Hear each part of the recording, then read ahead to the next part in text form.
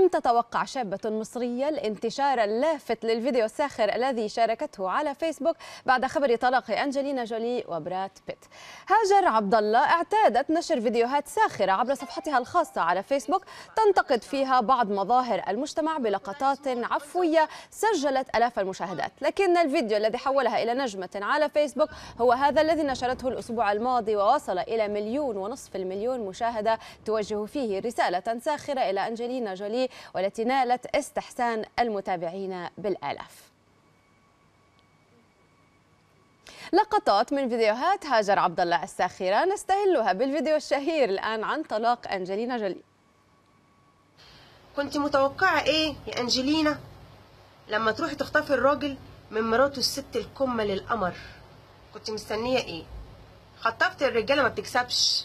This is lesson for all girls اللي تفكر إن هي تخطف راجل من his wife أو his girl friend مش. مش هتعمل أي ديفرنس في الموضوع. خطفتيه. براد استنى جايلك دورك جاي بس اخلص الأول أنجلينا. كنت مستنية إيه؟ أنت تستاهلي دورك وحقك وخدتيه. أصل الدنيا دي دايرة. وحقك كده ووصلك وأنا كهاجر شمتانة. هاجر جوجاية on فيسبوك شمتانة on you يا أنجلينا. بعدين خطفتي الراجل خلصنا. اهتمي بيه. مش قعدتي الأول. الشلاضيم الكبيرة ما بتجيبش نتيجة. دي بالمناسبة عشان بس كل اللي بتفكر تنفخ.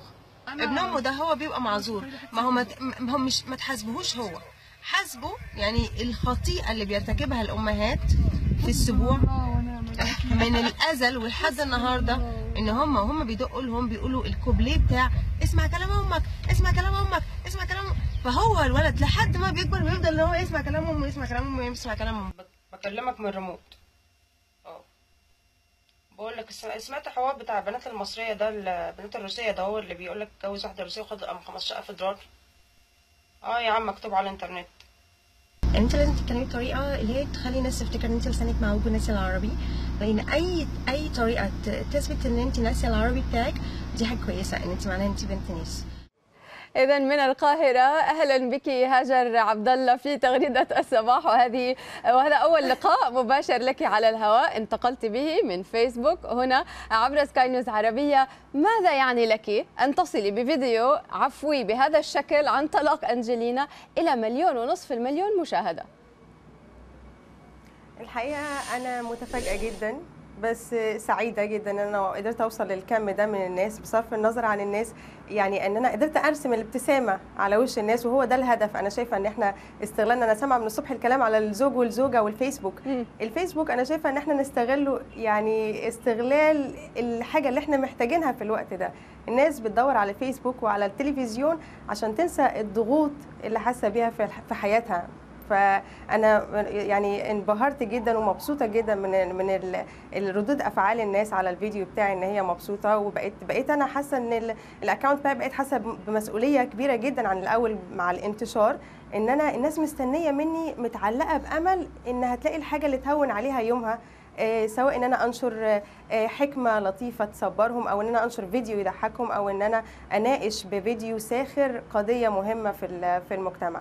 أما بالنسبة للفيديو بتاع أنجلينا وبراد آه ده ده هو الأهم ده ده نقلك للنجومية صح؟ ده آه بالظبط آه. يمكن عشان بس اسم أنجلينا ويمكن علشان اسم عشان أنا كنت بتكلم انجلش يعني بطريقة آه ملفتة فيعني آه مبدئيا خريجة لغات وترجمة آه واشتغلت مترجمة في وقت من الأوقات لا بس, بس يعني للتوضيح أصبح واضح إنه يعني أنت كنت تتحدثين عن سبيل المزاح وهذه ليست لهجتك الإنجليزية. مع إنه كثيرون بالزبط. اعتقدوا بأن يعني لم يفهموا السخرية في في بداية الأمر صح ده نجاح في حد ذاته إن هم صدقوا تمثيلي ومعناه إن أنا ممثلة كويسة wow okay. يعني بس يعني طيب أيضا ربما هاجر نستعرض ربما بعض الانتقادات okay؟ الآن أنت شاء من شاء أو أبى من أبى تحولتي إلى نجمة يعني بين ليلة وضحاها على فيسبوك تمام؟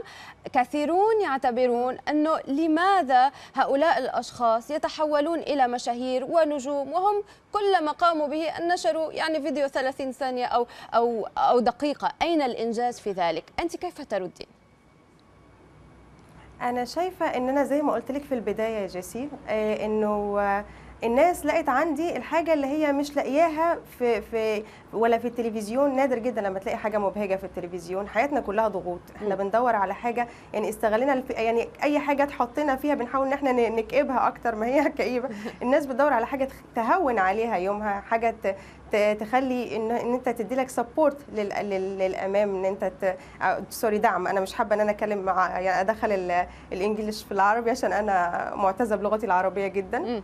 آه، فهي تدي لك دفعة تكمل بيها يومك. هم بيدوروا على حاجة مبهجة. أنا مش داخلة على الفيسبوك. أنا دلوقتي راجعة من شغلي داخلة ماسكة الموبايل بتاعي عشان أدخل على الفيسبوك. مش علشان أشوف مشاكل وخناقات و... و... يعني أكيد كل حاجة وليها حقها ولازم نديلها حقها بس نخصص لها مكان على الفيسبوك ده للترفيه لأن إحنا نود بعض إن أنت تقدري توصلي. لناس يعني صعب إن أنت توصلي لها سواء قرايب أو الأسرة اللي بتبقى متفرقة في- بلاد صحيح. ولا في أماكن و- بعيدة عن بعضها وربما يعني كم الأنباء ال- المؤسفة التي نسمع بها هو سبب من أسباب انتشار الفيديوهات التي تقومين آه، بها والاستحسان التي تلاقيه هجر كثيرون أرسلوا آه، تغريدات ورسائل عبر حساباتنا عندما اعلنا آه، أنك ستكونين معنا في هذا اللقاء. يريدون التعرف عليك أن يعرفوا أكثر من هي هاجر. طبعا سنبقي الكثير من خصوصياتك هنا. أنت كيف آه، ربما تحبين أن يعرفك الناس؟ آه، في الحقيقة هو يمكن الإطار اللي أنا هقوله دلوقتي جزء منه يعني الناس ساعدتني إن أنا ألاقي نفسي فيه. إن أنا أنا اكتشفت إن أنا أنا كنت فاكرة إن هو ده العادي بس اكتشفت إن أنا يعني بحب التمثيل جدا. آه، إن أنا واحدة حابة إن هي تناقش قضايا في المجتمع. آه، مشاكل بتواجهنا بتواجهنا كل يوم بشكل ساخر توصله للناس إن هي تخليهم مبسوطين. آه، إن إحنا مش عارفة أو- أوصلها إزاي بس هي الفكرة إن إحنا نحاول إن إحنا نعمل يعني بريق أو. بصيص أمل للناس ان ان إن الفيسبوك ده حاجة آه، ممتعة وإن إحنا نقدر إن إحنا نحل كل المشاكل اللي حوالينا بسيطة وان وإن هل تسعين وراء الشهرة هاجر أحد المستخدمين يسألك أحد المغردين في الحقيقة هي هي اتحطت عليا أنا ما طلبتهاش. فأنا لسه مش عارفاها هي عاملة إزاي عشان أقدر إن أنا يعني آه، أختارها أو لا؟ أنا مش عارفة الشهرة دي بتبقى عاملة إزاي لسه. طيب يعني هي لما ابقى مشهوره تبقى مبسوطة ولا لا. الفيديوهات التي نشرتيها ربما ستنشرين فيديوهات أكثر ستنتشر بطريقة أكبر. هل لديك أي فكرة كيف يمكن استغلال هذا الموقف الذي وجدت نفسك به من أجل إما تنفيذ ربح مالي أو أو الانطلاق بمهنة جديدة؟ آه، لا مش مهنة جديدة ولا مم. حاجة. هي الفكرة إن أنا حسيت بمسؤولية أكبر وبقيت أحب إن أنا أشارك الناس بالرأي إن أنا أشوف المشاكل اللي هم عايزيني إن أنا أناقشها.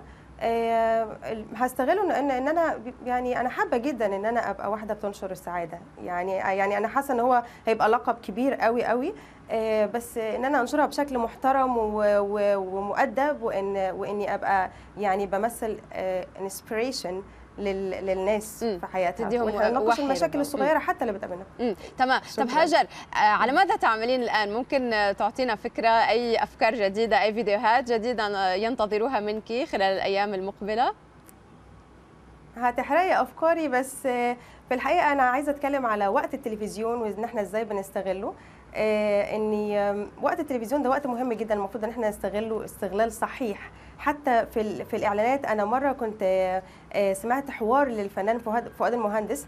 كان بيتكلم كان بيقول إحنا زمان كان كانت كانت الناس بتضحك وبتحبنا عشان لما كنا بنضحك بنضحك بجد. لما بنهزر بنهزر بجد. لما بنعيط بنعيط بجد. فإن هو كان ال... كان وقت التلفزيون متوظف لحاجات مفيدة حتى إن أنا عايزة أضحكك أنا أنا أنا بشتغل جامد قوي علشان أضحكك. عايزة اوصل لك نصيحة أنا بشتغل جامد جدا عشان اوصل لك نصيحة. ت- تفيدك في حياتك. فحاسة إن هو حتى خصوصا الإعلانات إعلانات زمان كانت بتأثر فينا جدا وبنتعلق بيها جدا سواء كان كل حاجة متكلفة فعايزة أتكلم على وقت التلفزيون دي حاجة مهمة جدا تمام. آه بس ومش هحرق لك كل الأفكار.